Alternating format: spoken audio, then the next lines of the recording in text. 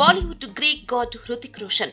ఎనిమిదేళ్ళ క్రితం తన భార్య సుసానే ఖాన్కు విడాకులిచ్చాడు. Hrithik first movie Kaho Na Pyaar Hai release అయిన నాలుగు నెలలకే సుసానేను ప్రేమించి పెళ్ళాడిన హృతిక్ రెండు వేల పద్నాలుగులో వివాహ బంధానికి ఫుల్ స్టాప్ పెట్టాడు. భార్యాభర్తలుగా విడిపోయినప్పటికీ పిల్లల కోసం అప్పుడప్పుడు కలుస్తున్న ఈ జంట స్నేహితుల్లా మిగిలిపోయారు. ప్రజెంట్ హృతిక్ మాజీ భార్య సుసాని మరో కుర్రాడితో రిలేషన్లో ఉందని వార్తలు వస్తున్న హృతిక్ గురించి పెద్దగా రూమర్స్ రాలేదు. ఆ మధ్య కంగనాతో ప్రేమలో ఉన్నాడని గాసిప్స్ వచ్చినా అది ఎక్కువ ఎక్కువ కాలం నిలవలేదు. అయితే ఇన్నాళ్ళకు హృతిక్ లైఫ్లోకి కొత్తమ్మాయి ప్రవేశించినట్లు బాలీవుడ్ కోడేకొస్తుంది తాజాగా హృతిక్ ముంబైలోని ఒక ఫేమస్ జపనీస్ రెస్టారెంట్లో డిన్నర్కి హాజరయ్యాడు. అక్కడి నుంచి బయటికి వచ్చేటప్పుడు ఒక అమ్మాయి చేయి పట్టుకొని నడిపించుకుంటూ కారు దగ్గరికి తీసుకొచ్చాడు. వాళ్ళిద్దరి మధ్య సాన్నిహిత్యం తనను హృతిక్ ప్రొటెక్ట్ చేసిన విధానం చూస్తే జస్ట్ ఫ్రెండ్ లాగా అనిపించటం లేదు. మాస్క్ వేసుకుని ఉండటంతో ఆ అమ్మాయిని ఎవరూ గుర్తుపట్టలేదు. అయితే ఆమె సినిమా రంగానికి చెందిన లేడీ కాదని